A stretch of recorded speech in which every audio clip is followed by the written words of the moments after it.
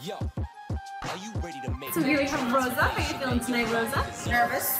All right, Excited. in a good way, right? Yes. All right, you're getting ready to do the 20 pound six week challenge. Let's go ahead and step on the scale. We're gonna see where you're gonna start. To 12.5. We're gonna be 20 pounds or less or more down in six weeks. Are you ready? I'm ready. All right. Good morning, Rosa. How are you today? I'm doing just fine.